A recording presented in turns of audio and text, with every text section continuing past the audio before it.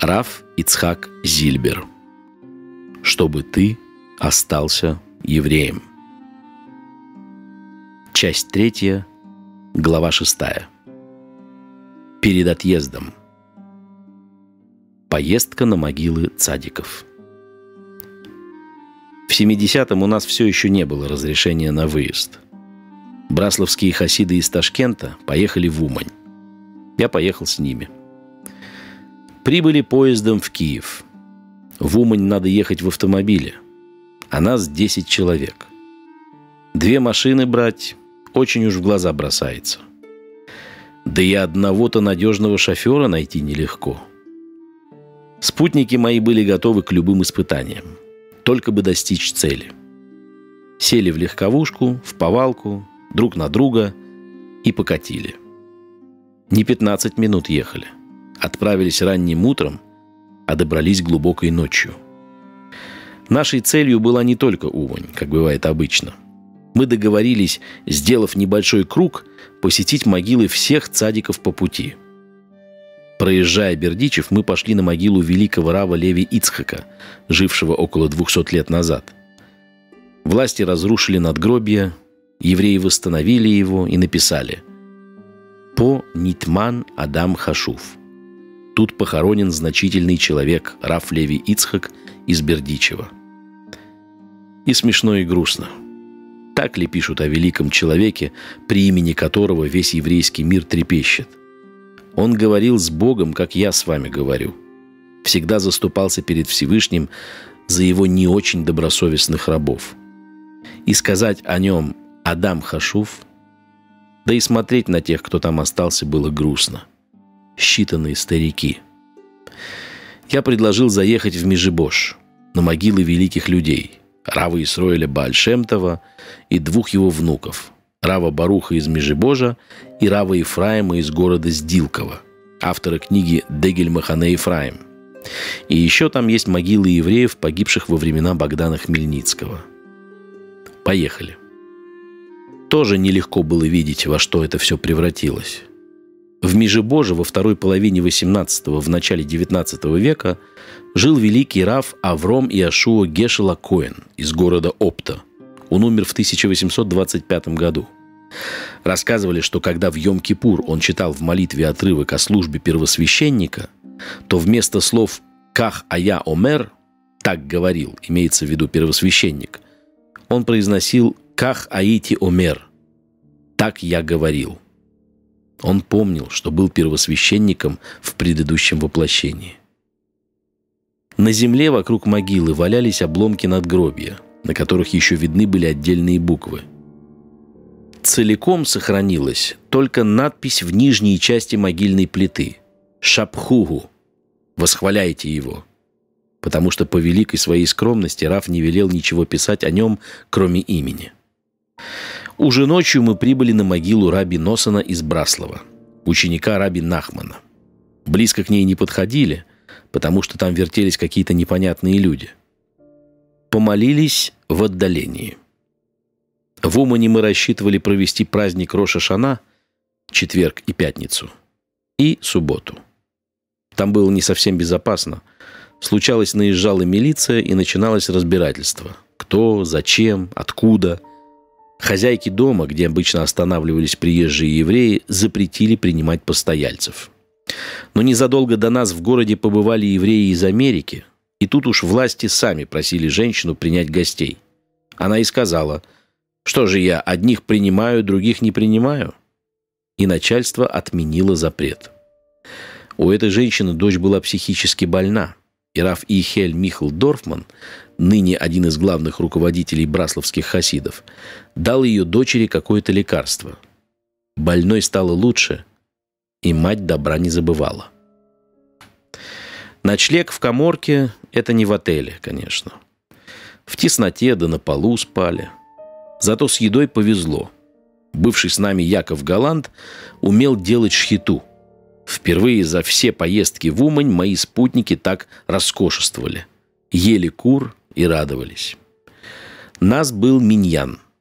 На праздничную вечернюю молитву мы пошли в синагогу. Та же картина. Восемь-девять стариков за семьдесят и ни одного молодого лица. Наши привезли с собой шафар и трубили там. В субботу вечером, после Авдалы и Мелове Малка, трапезы после субботы, которые провожают царицу субботу, мы улетели в Киев. Вскоре после нашего отъезда нагрянула милиция. А нас уже нет.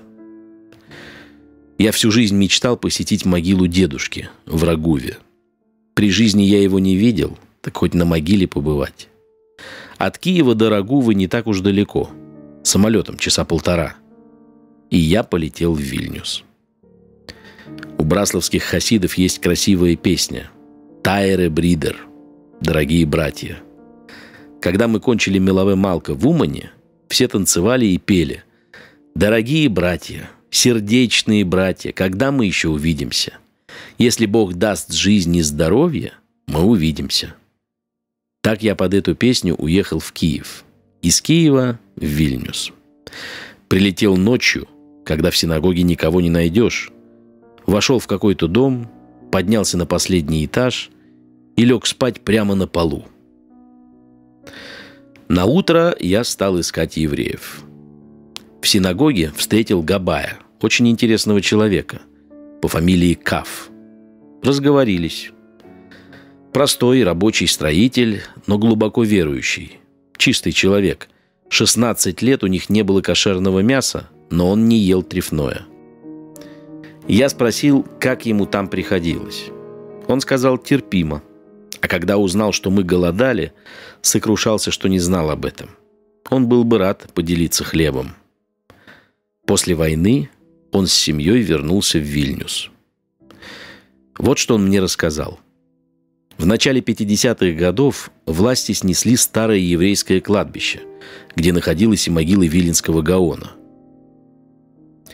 Каф решил спасти могилы Гаона и его близких. Детей, брата и сестры, родителей. Восемь могил он перенес на новое место. Ему помогали пять евреев. Каф сказал мне, что на могильном камне Гаона написано «На кого ты нас оставил?» кто будет решать трудные вопросы. И попросил запомнить на всю жизнь. Эта могильная плита установлена на четвертой могиле слева, но Гаон Мивильна – третий слева. Праха Потоцкого, польского графа, принявшего иудаизм, Каф не нашел. Этот герцедок, которого власти приговорили к сожжению за измену вере, был похоронен рядом с Гаоном – я спросил у Кава, отличались ли чем-нибудь останки Гаона Мивильна от других. Он ответил, волосы у него на голове были твердые, как иголки. Больше я ничего не спросил. Не знаю, сохранилось ли тело. Но раз волосы были, значит, что-то сохранилось. Каф объяснил мне, как добраться до Роговы, но сопровождать меня не мог, не хотел оставить больную жену. Однако жена настояла – Человек приехал издалека, мецва, поехать с ним. Мы поехали вместе. К сожалению, как и во всех литовских городках, там после войны не осталось в живых ни одного еврея. Во всех таких местечках еврейские кладбища были разрушены. Но кладбище, на котором похоронен дедушка, сохранилось полностью, потому что во время войны прямо на его территории шли бои, и там похоронили погибших советских солдат – я нашел могилу дедушки. Надпись на надгробии сообщала, что он был раввином Рагувы 48 лет. Из этой своей поездки на могилы праведников, последней перед отъездом в Израиль, я возвращался домой через Москву. Этрок из Америки. В московской синагоге я встретился с Равом Иудой Лейбом Левиным, главным раввином Москвы – он меня поцеловал и говорит, «Тут был твой двоюродный брат из Америки, Раф Тайц, и оставил для тебя итрок». Я обрадовался, взял итрок и вернулся в Ташкент. Обычно я произносил благословение вместе со всеми на общий итрок. А в этом году, думаю, будет у меня собственный. Но за день до Сукота приехал еврей из Маргелана. «Наш раввин Ицхак Винер говорит, Учил нас, что Итрог – большая мецва на Сукот. Это все, что ему известно, но он ищет Итрог, хочет купить. Я пошел с ним к человеку, у которого, как я знал, есть свой Итрог, но тот отказался продавать. Если у меня Итрог дома, сын тоже будет благословлять, а в синагогу он не пойдет. Я отдал приезжему свой. После Сукота он принес мне 150 рублей, чего я не ожидал. Я же отдал ему Итрог просто так. Исполнились слова брасловского рэбе, Раби Нахмана. «Никто из тех, кто ко мне поедет, не потеряет». Действительно, поездка обошлась в 153 рубля. И 150 мне вернули. Раф Пинхас Тайц. Немного о Раве Пинхасе Тайце, который привез мне Итрок. Это он в Америке привел меня к Раву Ицхаку Гутнеру, по чьему указанию я и стал рассказчиком. Наши матери – родные сестры – в 1935 году Раф Пинхас, живший тогда в досоветской Прибалтике, сопровождая Рош Ешиву Телс Рава Ильягу Мейера Блоха, поехал в Америку. Там он женился на дочери Рава Илиезера Мейера Прайля, равина города Элизабет в штате Нью-Джерси, и назад уже не вернулся. Перед самым вторжением Гитлера в Прибалтику он успел вызвать к себе отца и мать. Приехав в Америку, Раф Пинхас первым делом поинтересовался, есть ли в районе миквы. Ему ответили, что спрашивать в Америке про миквы – хилу лашем, осквернение имени Всевышнего. Представляете себе? Тамошние евреи считали миквы таким предрассудком, таким примитивом, что даже вопрос о ней находили неприличным, компрометирующим народ Всевышнего. Совершенно огрубели. Раф Прайль умер еще до замужества дочери – он совершил в городе переворот. Открыл ешиву, хедер для мальчиков, школу для девочек. Раф Пинхас был первый, кто решился использовать радио для религиозных целей. Тридцать с лишним лет, раз в неделю, Раф давал по радио получасовой урок Гемары. Передачу слушали по всей Америке. В Чикаго, Флориде, Лос-Анджелесе. При проверке популярности отдельных радиопрограмм выяснилось, что программу Рава Тайца слушают четверть миллиона человек. Разницу между консервативным и ортодоксальным иудаизмом Раф определял так. Консервативные говорят, мы так больны, что надо ампутировать руку, ногу, чтобы остаться в живых. Ортодоксы говорят, он болен не потому, что болен. Он просто истощен. Его надо кормить. Если его накормить, он будет здоров. Он хотел сказать этим, что так называемые больные евреи ничего не знают об иудаизме, а если узнают, то выздоровеют. Раф Тайц был одним из руководителей Агудат Исраэль в Америке. Агудат Исраэль – всемирное еврейское религиозное движение, которое образовалось в начале XX века и ставило своей целью сохранить и укрепить устои иудаизма – со временем оно объединилось в политическую партию. Один из главных организаторов Агудат Исраэль – Хафец Хаим. Раф Пинхас входил также в руководство Ваат Ацала – Комитета спасения, который помогал евреям, оставшимся в живых после катастрофы, помогал добиваться права на въезд в разные страны. И от всех этих дел Раф Тайц отрывался, чтобы учить российских евреев Торе. 22 раза приезжал он в Москву – и в какие времена. Однажды его задержал КГБ. Обыскивали, допрашивали, запугивали. Отпустили только потому, что он американский подданный. Раф на себе изведал, что такое наши власти. И, несмотря на все, продолжал приезжать. Раф удивительно умно ладил с администраторами Московской синагоги, среди которых были страшные доносчики. А у него они подарки принимали. Он речи произносил, а они не доносили. Как я потом слышал, он много занимался с Равом Ильягу Эсосом, тогда молодым Бааль Чува, организатором тайного обучения Баалей Чува в Москве и во всей стране. Учил его, как привлекать людей. А главное, отыскивал в Москве нуждающихся и помогал им. Года за два до отъезда в Израиль я узнал об очередном приезде Рава Тайца в Москву сорвался без спроса с работы взял сына и поехал.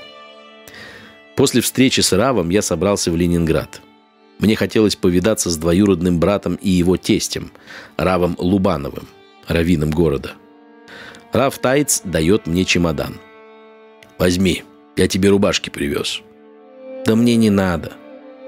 «Ну смотри, чемодан все равно здесь останется». Я подумал и взял.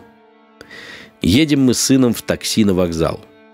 Минут через 20-25 нас догоняют, задерживают и возвращают в гостиницу, где мы встречались с Равом Тайцем. Оставляю сына в такси, иду куда ведут. Приходим в комнату. Сидят трое. «Встречался с таким-то? Какое имеешь к нему отношение?» э, «Родственник». «Откуда знал, что он приедет?» Ведут в другую комнату. Там еще кто-то сидит. И снова. «Кто он такой? Чем занимается?» Что сказать? Говорю, как есть. Учитель. Так, что в чемодане? Говорю, не знаю. Возьмите, мне не надо. Нет, нет, это твое. Мол, не грабители же. Вертелся я с ними, крутился. Наверное, с полчаса. Потом взял и открыл чемодан, хоть они и возражали. Я и сам не знал, что там. К счастью, кроме рубашек, ничего не было. Никаких книг. Не понимаю, как они все узнавали. Идеально они работали. Вы спросите, чего я в Москву помчался? Хотелось хоть иногда встретиться с человеком оттуда. Это было как глоток свежего воздуха. Тут один мир, там другой. Мы говорили Диврей Тора, а для этого и 10 минут очень много. За 10 минут много можно сказать. Из рассказа Лизы Кругляк. Раф Тайц приезжал в Москву каждое лето, начиная с 1964 года. Там я с ним и познакомилась, когда приезжала навестить маму и сестер. Я увидела его в синагоге, он был там с женой и дочерью. Раф разговорился со мной и попросил передать деньги одному больному. Разговаривая со мной, Раф смотрел в сторону, чтобы не показать, что мы знакомы. Он боялся за тех, с кем разговаривал. Приехав в Ташкент, я рассказал Раву Ицхаку, что встретил интересного человека, Рава Тайца. Рав Ицхак спрашивает, а как он выглядит? Я описала. Он говорит, так это же мой двоюродный брат. В следующий раз я привезла Раву Тайцу письмо от Равы Ицхака. Он сказал, узнаю почерк, это мой двоюродный брат. Через какое-то время Рав Тайц уже сам посетил Ташкент. Но первый связной – была я. Из рассказа Рава Бенциона. Меня поразили его поведение, манеры, изысканные и аристократичные. От Рава Тайца я впервые узнал, что Хазон Иш – представитель европейского еврейства. Мне, конечно, было известно это имя по книгам, но кто этот человек, я не знал. Рафхайм Авраам Лубанов, ленинградский раввин, с которым я хотел увидеться, человек совершенно особый, один из считанных. Знаете, за что он 10 лет отсидел? Жила в Ленинграде религиозная семья. Родители по-настоящему, а дети уже только кашрут соблюдали. Умер у них отец. На похоронах отца Раф и сказал его зятю, «Я бы хотел, чтобы у вас все оставалось, как было кто-то услышал и донес. Из рассказа Рава Бенциона. Раф Лубанов был большой талмит хахам. Помню, в ту ночь в его доме мне не спалось. Я сел заниматься. Хозяин дома сидел за книгой. Тоже, мол, не спится.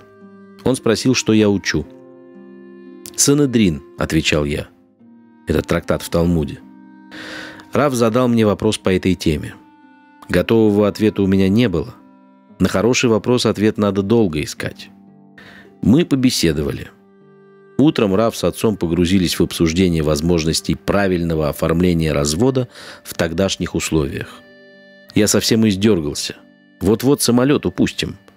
А они разговаривают, как ни в чем не бывало. Барух Хашем, не опоздали. Раф Иуда Лейп Левин. раввин Московской синагоги. Раф Левин стал московским раввином после Рава Шлома Шлайфера в конце 50-х. Каждый раз, бывая в Москве, я встречался с этим человеком, благословенна его память. Он занимал сложную должность, и о нем говорят разное. Я глубоко убежден, что это честный человек. Трудно ему приходилось, много он намучился. Однажды власти послали его в Америку – и я точно знаю, он пошел и спросил у великих людей того времени, стоит ли ему оставаться на посту равина в Москве или нет. Ему сказали, если ты не будешь раввином, будет еще хуже. И велели остаться. Власти постоянно тянули из него жилы, заставляя подписывать мерзкие заявления.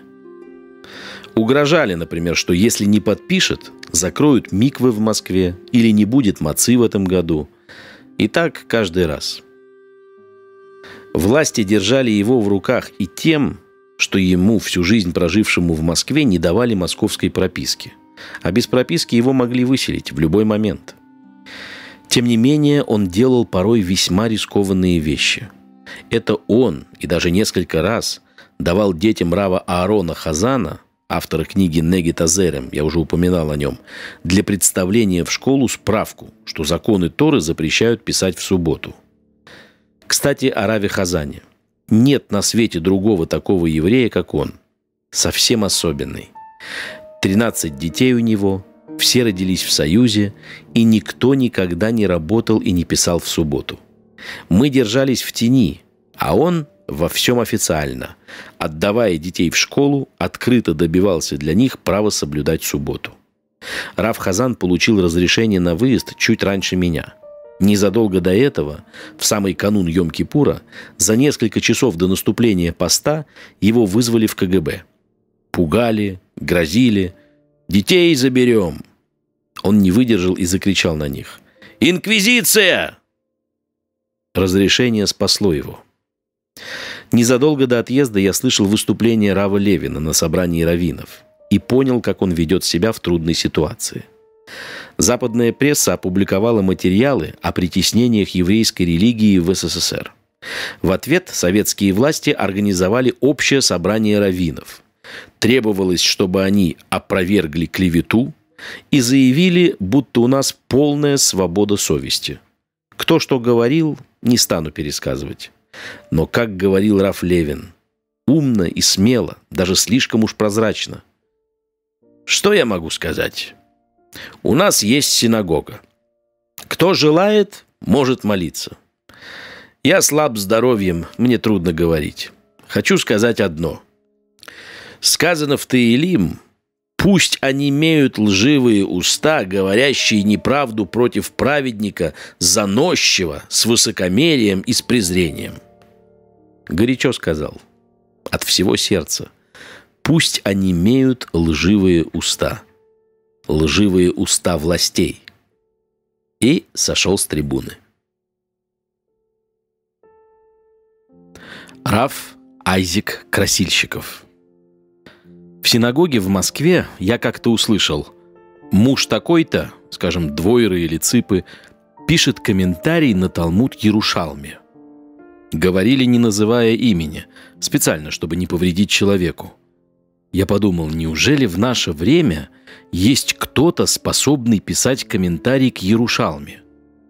Позже я узнал фамилию этого человека. Красильщиков. Писал он, не имея под рукой никаких книг, кроме самого Талмуда. Надо вам сказать, что у нас существуют два Талмуда. Иерусалимский и Вавилонский. На Вавилонский написано много комментариев, в том числе Раши и Тософот. Раши – это Пшат, разъяснение простого смысла, а Тософот – комментарий более углубленный. Все учатся по Вавилонскому Талмуду. А на Талмуд Ярушалми не было удобных легких комментариев. До сих пор наши современники редко его изучали. Рав Красильщиков выполнил работу, какой до него в мире не было. Он дал к Ярушалме новый комментарий на уровне пшат и дополнил его глубоким анализом отдельных моментов – объяснил так, что всякий мальчишка поймет. Теперь Ярушалме можно учить, благодаря Красильщикову. А началось так. Каждый седьмой год Тора предписывает нам предоставлять отдых земле в Эрец-Исраэль, не обрабатывать ее. Наступил такой год. За невозможностью практически выполнить заповедь, Раф решил выполнить ее, изучая и комментируя трактат Швиит, седьмой. Это трактат Иерусалимского Талмуда. Потом Раф Красильщиков продолжил эту работу и написал комментарии почти ко всему Талмуду. Это основной труд его жизни – Занимался он им в глубокой тайне.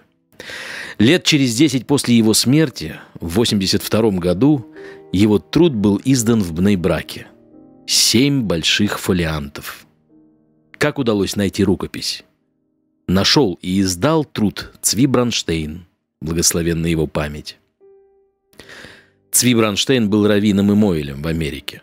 В 50-е годы он начал ездить в Советский Союз – как он рисковал жизнью, как рисковал. Во флигельке на еврейском кладбище в Киеве Раву расчистили место, и он тайком делал обрезание.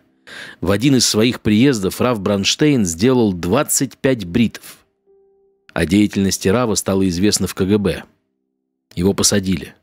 Не посчитались даже с тем, что он американский подданный. В тюрьме Рав перенес инфаркт. Власти перепугались и самолично доставили его в Лондон. О Раве Бранштейне мало знают, но он настоящий герой. Ну, мы, понятно, мы жили в Союзе и не могли не рисковать. А он? Что заставляло его приезжать? Что заставляло его рисковать жизнью? В один из приездов Рава Бранштейна, уже перед отлетом, Раф Левин попросил его посетить Красильщикова. Большой Талмит Хахам лежит в больнице – навести его. Красильщиков умирал. Он сказал Бранштейну, что написал комментарий к Ярушалме и объяснил, где его искать. Взял Бранштейна за руку. «Найди мои рукописи и издай». Через час он умер. Кое-что было спрятано в больнице под подушкой, остальное Бранштейн с трудом и риском нашел – это его заслуга, что рукописи найдены и изданы. Он вложил в это дело около 30 тысяч долларов. Цви Бранштейн переселился в Израиль и здесь умер, благословенна память праведника. Мы с ним были дружны, и он рассказал мне эту историю. Вот что пишет в предисловии к Иерусалимскому Талмуду с комментариями Красильщикова Раф Йосеф Шалом Ильяшев. Мне показали рукописи на Талмуд Ярушалме, Рава Айзека Красильщикова из города Полтавы. Красильщиков родом из Полтавы. Писал он это в советском геноме, под гнетом врагов, воевавших с Торой. Во мраке изгнания он написал комментарий, который вызывает восхищение величием и смелостью духа. Надо вспомнить добром Рава Цви Бранштейна, который, рискуя жизнью, сумел вывести этот комментарий и издал его – он совершил милосердное дело умершему, за что ему подобает глубокая благодарность. Благословенны все, помогающие этому делу. Профессор медицины и рукопись. В Москве жил профессор медицины по фамилии Соловей. Имени, к сожалению, не помню. В прошлом ученик Хафецхайма, большой знаток Торы. Я с ним встречался несколько раз – у него было много тетрадей с пояснениями к Талмуду. Он хотел их опубликовать. Он рассказывал мне, что не прерывал эту работу даже на фронте и пересказал кое-что из найденных им пояснений. Перед моим отъездом в Израиль профессор с радостью отдал мне рукопись и попросил напечатать ее без имени, не называя ни страны, ни города, указав только «получено от доктора медицины, профессора». Он хотел, чтобы люди знали, что Талмудом занимаются и самые современные ученые, и что Талмуд – очень ценная вещь. Я взял рукопись и начал оформлять бумаги, необходимые для разрешения на вывоз. Но тут прибежала жена профессора. Испуганная, ужас. Он уже пожилой был. «Не хочу, — говорить, чтобы мой муж кончил жизнь в застенках НКВД». И потребовала немедленно вернуть тетради. Я вынужден был их отдать. Профессор мне потом сказал, ну, не драться же мне с ней. Думаю, в этих рукописях можно было бы найти что-то важное. Насколько я слышал, тетради уже после смерти профессора вывез Раф Пинхас Тайц. О судьбе книги ничего не знаю. К концу 70-го или в начале 71-го года в Ташкенте разрешили выезд 28 евреям, которым прежде постоянно отказывали. Вызывают в очередной раз и нас. Гита радуется. Теперь уж точно выпустят. Приходим. Отказ. Разочарование было страшное. Гита тяжело переживала. Когда она вышла из дому, к нам как раз заглянули сыновья Кругляков, Давид и Яков. Я беру вино, ставлю на стол, наливаю и говорю, скажите Лихаем. Они берут вино, говорят, Лихаем, ну, значит, вам разрешили? Я говорю, нет, отказали. Они удивляются, почему же тогда Лихаем? Очень просто. Ведь решает в конце концов Всевышний. Значит, я еще должен быть здесь. Гите я этого не рассказал до самой смерти. Из рассказа Рава Бенциона. Среди евреев постоянно шли разговоры о разрешениях. Такой-то получил, и такой-то получил. Иногда сообщение оказывалось ложным, и те, о ком говорили, обижались. Когда мне говорили, будто нам дано разрешение, я отвечал, может быть, мне это пока неизвестно. Я вправду так думал. Меня свыше задерживают, я еще что-то должен сделать здесь. И действительно, несколько случаев как будто подтверждают эту мысль. В «Республиканской правде» появилась статья про Илью Люксембурга, боксера и писателя. О нашем знакомстве в трамвае я рассказывал. Эли Люксембург начал писать еще в Ташкенте. Естественно, надежды на публикацию в Союзе не было. В 70-м году Эли передал один из своих рассказов иностранному корреспонденту, что в Союзе строго преследовалось. Факт обнаружили, выступила пресса, за статьей такого рода обычно следовал арест. За Ильей началась слежка. Его телефон прослушивали – он боялся ходить в гости, чтобы не компрометировать людей. Только к нам ходил. Моя жена приглашала его. Нам терять нечего, мы и так под наблюдением. Отец Ильи, хасид Рыбницкого Рэбе, сразу поехал к Рэбе. Тот сказал, «Не беспокойся, сына не тронут. Ручаюсь, мы еще будем вместе танцевать в Израиле». Приходит ко мне Илья недели через две, глубокой ночью, и говорит – я получил разрешение на выезд. Меня цепляют из-за статьи. Если через день-два не уеду, могут посадить. Денег ни копейки. Я тут же ночью достал у Кругляков еще где-то деньги, и он через два дня уехал. Это первый случай. Второе дело, которое я сделал в те дни, помог уехать нашим родственникам. У них совсем не было денег даже на оплату отказа от гражданства – за сдачу советского паспорта взимали немалую сумму. В очередной приезд Рава Тайца в Москву я с ним поговорил, они и ему родня, и он дал денег. Люди уехали. Кстати, Раф Тайц дал деньги на выезд и нашей семье. Говорю это с глубокой благодарностью. Он и в американском конгрессе, как я узнал недавно, хлопотал за нас. Просил помочь нам добиться разрешения. А третий случай был такой – один ташкентский еврей начал было изучать законы еврейского развода, чтобы потом этим заниматься, но не довел дело до конца, не получил соответствующего свидетельства, а, как я слышал, геты оформлял. Я спросил у раввинов, они сказали, раз он не закончил обучение, он не имеет права совершать разводы. Я пошел к нему и спросил прямо, «Если я приведу к тебе настоящего равина, ты согласен будешь послушать его? Он говорит, да. Я пригласил Равина из Свердловска. Тот приехал, занимался с этим человеком три дня и письменно засвидетельствовал его право оформлять разводы по еврейскому закону. Вот такие вот дела. Разрешение. Обстановка дома была напряженная. Саре 24 года, Бенциону 22, Гита боялась и беспокоилась за них. Вот, старших она вырастила. И что же теперь? Найдут ли они себе пару? Где? Да и младшей, семилетней Малке, пора в школу. Опять все эти мучения. Гита нервничала, утверждала, что все из-за меня. Если бы я не считал, что еще нужен в России, мы бы уехали. Да, я подаю документы, делаю все, что необходимо, но сам выезжать не хочу. Я ей этого никогда не говорил. Она сама чувствовала. Ничего не сказав, Гита взяла нашу семилетнюю дочь и отправилась в КГБ. Она знала, куда шла и как себя вести, поэтому пошла с ребенком. Она спросила гибистов, «Чего вы от нас хотите? Почему не выпускаете?» Ей отвечают, «Вы обращаетесь не по адресу, обратитесь в АВИР». Гита возражает, «Я знаю, куда пришла, я не девочка и с вами не в игры играю. Отказы – дело рук не АВИРа, а КГБ. Я хочу, чтобы вы нас отпустили».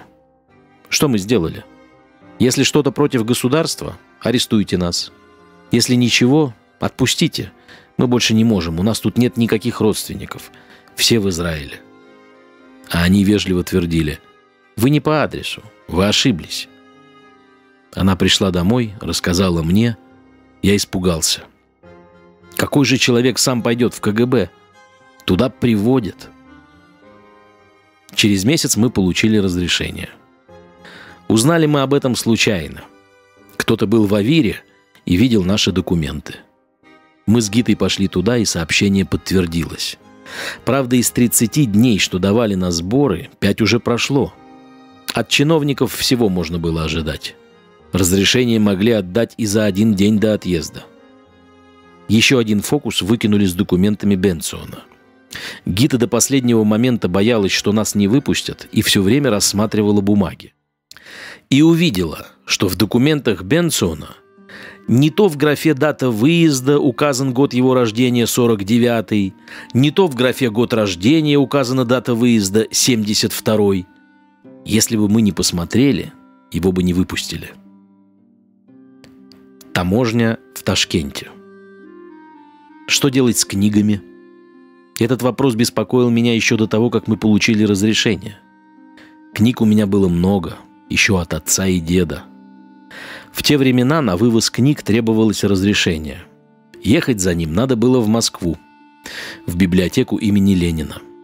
К тому же за каждую книгу надо было заплатить около 5 рублей. Учитывая количество наших книг, это составило бы неописуемую сумму. Кроме того, книги, изданные 100-150 лет назад, вообще не пропускали. Как быть? Как быть? Добиться, чтобы в Ташкенте открыли таможню. Мне хотелось, чтобы инициатива насчет таможни исходила не от меня, а от кого-то якобы незаинтересованного. У одного из мальчиков, с которыми я занимался Торой, дедушка служил в милиции. Отец мальчика, сын этого милиционера, уже ничего не знал о Торе, но против занятий мальчика не возражал. Мальчик, кстати, стал верующим человеком. Я побеседовал с дедом и с отцом моего ученика – начинается большой выезд евреев. Таможня в Москве перегружена.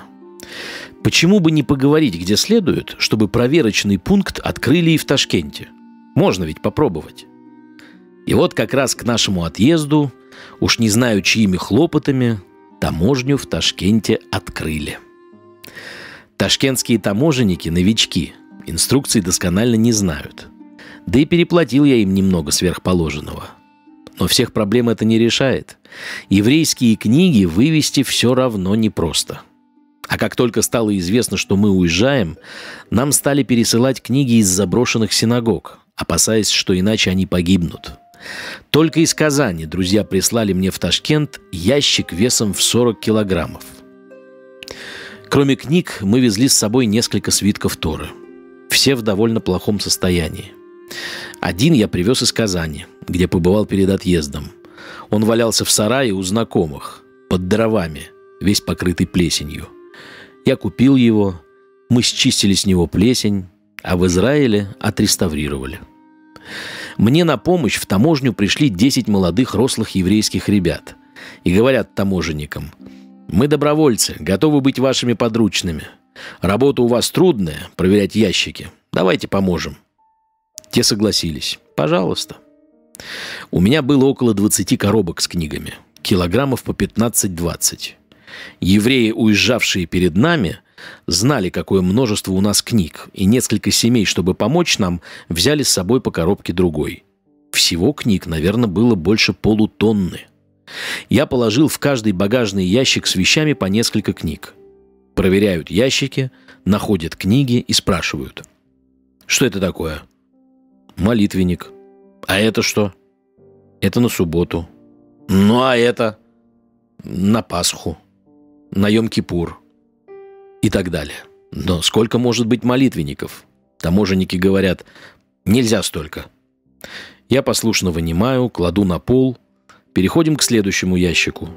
А сзади идут парни, кладут книги обратно и забивают ящики. Таможенники назад и не глядят. Так книги прибыли в Израиль. Через два месяца после нашего отъезда таможню закрыли. Друзья говорили, персональная таможня, специально для тебя. Специально не специально, но я благодарен Всевышнему за его милость. Хесет Тов. Запомните, и это очень серьезно, не надоедайте людям с подарками. Не навязывайте человеку лишнего. Тут нельзя проявлять настойчивость. Сами того не ведая, вы можете принести вред. Как-то я приехал в Москву продлить вызов. После очередного отказа он устарел. И собирался возвращаться – Родственница хозяйки дома, где я ночевал, заботливая женщина, говорит, «Тебе за покупками бегать некогда, а я купила апельсины». В Союзе это был дефицит. В Ташкенте апельсинов в глаза не видали. «Возьми домой килограмм». Я отказываюсь, она уговаривает. «Не надо». «Да нет, возьми». У меня сумка битком набита.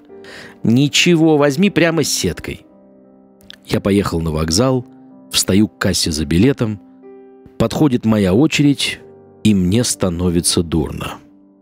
Сетка с апельсинами в руках, а сумка с паспортами, бумагами из военкомата, деньгами и документами для подачи на выезд исчезла. Там еще и тфилин отрава тайца были, очень хорошие. Нет у меня ни копейки, ни даже московского адреса. Я там пробыл один день и не запомнил его – но самое страшное, в сумке лежала черновая рукопись моей книги «Пламя не спалит тебя». Если ее найдут, меня могут обвинить в сионизме. Какими-то мучительными окольными путями по телефону я нашел знакомых, одолжил денег и уехал.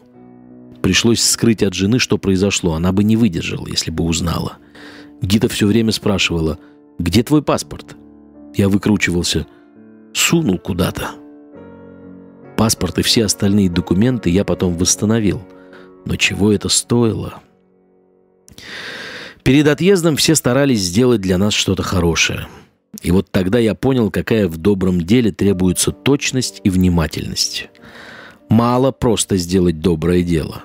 Одно и то же действие может привести и к хорошему результату, и к плохому, в зависимости от обстоятельств. Чтобы дело и вправду получилось добрым, его надо хорошо продумать. Для ясности приведу, можно сказать, классический пример. Работая учителем, я проверял тетради в трамвае. Еду однажды и, как обычно, просматриваю работы учеников. Подходит кондуктор. Я собираюсь взять билет. Знакомый, сидящий рядом, говорит «Не надо, я вам возьму». И выходит на своей остановке с этим билетом. А меня потом задерживают, и я плачу штраф. Так какое же это доброе дело? Какой же это хесед? Именно перед отъездом из России я понял, что значит «гумель хасадим тавим», совершающий добрые дела милосердия. Это был для меня хидуш, открытие. И я тут же поделился им с родными. Почему сказано «товим» – добрые, хорошие, если хасадим и так обозначает милосердные дела? В Израиль мы улетали из Москвы. Я купил кусок кошерного мяса, а сварить негде. Субботу нам всей семьей предстояло провести в Малаховке, под Москвой. Утром в пятницу помолился я в синагоге в Москве и думаю, сварил бы кто мясо, был бы хесед. Увидел знакомого и попросил. Он согласился. «Но я на субботу уезжаю в Малаховку», — сказал я. Он говорит, «Все нормально, успеешь». Часов в 11-12 прямо из синагоги посылаю сына за сваренным мясом. В Перловку, тоже под Москвой, но в другой стороне. Решено, что мы едем в Малаховку немедленно, а Бенсон попозже. Сидим в Малаховке, ждем. Бенсона нет. Время зажигать свечи. Бенсона нет. Что с ним? Он же без документов. А вдруг милиция задержала? Мы чуть с ума не сошли. Уже в сумерках попросили маленькую Малку позвонить родственнице в Москву и узнали, что все в порядке. Бенцион там. А получилось так, что человек мою просьбу выполнил, мясо сварил, но не вспомнил, что Бенцион не москвич. Не предупредил его, что каждая поездка по Москве и окрестностям требует большого времени, а солнце скоро зайдет. Будь он настолько предусмотрителен, продумай ситуацию, а ведь он всего лишь человек – его милосердное дело могло бы стать хорошим. Хесетов. А так вышел Хесет Лотов. Из рассказа Рава Бенциона. Я не торопился. Пошел в Миквы, пообщался в Досталь, поехал в Перловку, вернулся. Стою на вокзале, электричка на Малаховку только что отошла. Посмотрел, когда следующая, и понял, что не успею к началу субботы – Тогда я отправился к нашей родственнице, Берте Владимировне. Берта Владимировна Аронова. Она приходилась внучкой режица Рэбби. Она жила одна. Как же этот район назывался? Известный такой адрес. Петровка. Ну как же, Петровка 38. Берта Владимировна жила на Петровке, и у нее всегда останавливалась, бывая в Москве, Сара. И отец, когда приезжал вместе с мамой. И папа со мной и с Сарой, когда мы на неделю приехали в Москву, чтобы повидаться с Равом Тайцем. Кроме одной супружеской пары, все остальные соседки Берты Владимировны по лестничной площадке тоже были одинокие женщины. Так что по еврейскому закону ночевать я мог только у этих супругов. К ним я и попросился, заглянув предварительно к Берте. Но ничего, правда, ей не объясняя. Для нее такие вещи уже не существовали. В вечернюю трапезу я сделал кидуш на хлеб – Ой, только сейчас вспомнил. Я определенно не зажег свечи. Как же теперь быть? Ну ничего, мама ведь зажгла. Я через маму вышел. А утреннюю трапезу я провел у рэп Мотла Лившица, официального московского шойхета. Он меня видел в синагоге и пригласил. Поэтому о Всевышнем мы говорим «Гумель Хасадим Товим». Он предусматривает все. Я недавно руку сломал – да еще в четырех местах. Врачи сомневались, что нормально срастется. Однако, пожалуйста, еще гипс не снят, а я уже ею двигаю. Это и есть безупречный хесед. Накануне отъезда. Еще в 46 году, когда евреи уезжали через Польшу, я подумал, что нужен здесь и должен пока оставаться – Теперь же положение в семье сложилось такое, что ясно было – надо уезжать. Я боялся, что новое поколение евреев в России, лишенное учителей, совсем забудет о своих корнях. И решил рассказать на русском языке о том, что такое еврейский образ мысли. Так как первый вариант книжки «Пламя не спалит тебя» пропал, пришлось мне снова писать. Написал. И второй раз украли – Закончив работу над рукописью, я нашел отчаянную машинистку, которая взялась отпечатать текст и которой я не боялся. Хотя жена тревожилась, но получив разрешение на выезд, я все-таки решил, что должен напечатать десяток экземпляров. Часть оставить в Москве, часть взять с собой. Передал тексты москвичу Виктору Польскому, тогдашнему еврейскому активисту, и еще нескольким людям. Весь день накануне нашего отъезда в Израиль к нам приходили прощаться. Самолет улетал утром. В час ночи, когда все разошлись, я пересчитал экземпляры. Вместе с розданными получилось девять. Куда делся десятый? Столько людей приходило прощаться. Не исключено, что были и доносчики. Фокус с документами Бенциона не прошел. Так теперь будет другая причина – и я уже вижу в воображении, как мы садимся в самолет, я, жена, дети, и тут входят и спрашивают. «Зильбер здесь? Выходи». Я искал этот экземпляр всю ночь. Не нашел. Пришлось мне и остальные копии уничтожить. Так и уехал с одними письменными заметками. Оказывается, в тот вечер кто-то из молодых костей увидел книжку, дай, думает, возьму одну. Не спросил, не предупредил. Потом, уже в Израиле, сам рассказал мне об этом, как о пустяке, с легким сердцем. Что тут такого? А я-то сколько пережил, уничтожил оставшиеся экземпляры. Вот что получается, когда нарушают святые слова Талмуда. В Талмуде сказано «пользующийся без разрешения грабит». Взятое без разрешения не считается одолженным. На то время, что пользуются без спроса, украл. Приехав в Израиль, я написал все заново. Годы шли, лет десять, а мне все некогда было просмотреть рукопись и окончательно ее отделать. Я работал с утра до ночи, ездил с лекциями в другие города, вел уроки по вечерам, а рукопись так и валялась. Потом у меня случился инфаркт. После выписки из больницы родные отвезли меня не домой, я жил на втором этаже, а в квартиру со входом с улицы.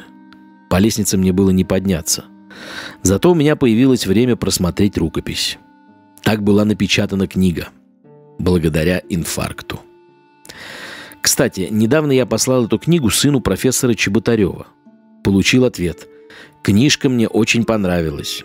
Я не только сам прочел ее, но ее прочли мои родные и многие друзья, евреи и неевреи. Тронут теплыми словами, которые вы нашли, вспоминая о моем отце. Последний шаббат в России. Последнюю субботу в России мне не забыть. Мы провели ее в Малаховской синагоге. Там собрались несколько евреев. В этот раз не я разбирал с людьми недельную главу, а Хавочка. Ей было десять с половиной, чуть больше. За столом сидели семь-восемь взрослых, и она читала хумаш, объясняла и переводила. И все правильно. Мне не пришлось поправлять. Знаете, как на них это подействовало? Это было в феврале 72 -го года. В воскресенье мы улетели из рассказа Хавы. На прощание московские таможенники пожелали нам счастливого пути и удачи. Мы уже сидели в самолете, а мама все говорила, что нас не выпустят, арестуют, схватят. А в Вене мама все еще не верила, что мы уедем. Ночь мы провели в замке Шинау, перевалочный пункт Сахнута в Вене. Утром в аэропорту мужчин и женщин разделили для проверки. Нас обыскали, подходят автобусы, чтобы отвезти к самолету, а папы и Бенчика нет. В первый и, надеюсь, в последний раз со мной случилась истерика. Потом пришли папа и Бенчик. За нами прислали новый автобус.